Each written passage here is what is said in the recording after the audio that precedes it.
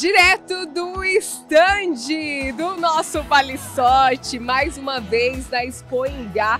E agora, no ano de 2024, nossos sortudos estão aqui à nossa espera. Vamos conversar primeiro com a Terezinha. Ela levou 10 mil reais sozinha e a gente já quer saber o que ela vai fazer com esse dinheiro. Já ganhou presente aí? Já ganhei presente.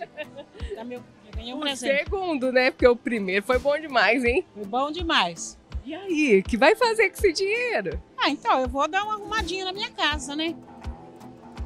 É, pode fazer um murinho lá, né? E dar uma arrumadinha lá na minha casa. Tava precisando. Tava assim. Então é um dinheiro que chegou em boa hora? Boa hora. Direto da onde a senhora vem? Lá de Nova Esperança. Nova Esperança, cidade pé quente, né? Com certeza. E aí, como é que a notícia boa chegou até você? Estava assistindo o programa ou alguém te ligou? Não, meu, meu neto veio e me falou.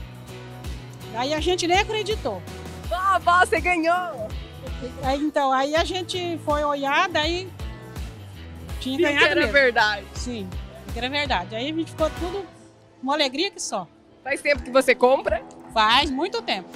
Quantos anos de casados? 36. 36. E qual o segredo? Ah, é, é amor, né? E paz, é união, né? Confiança. Né? Então tudo tem isso aí, né? 10 mil, hein? É, Vou ajeitar a casa de vocês. É, já dá pra ajeitar. Deixar tudo mais É, já tudo mais no jeito. né?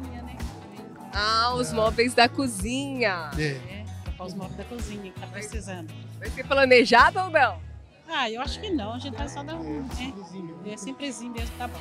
Mas tá ótimo. Ah, ah, com certeza, tá ótimo. Dá tchau lá, dá tchau lá.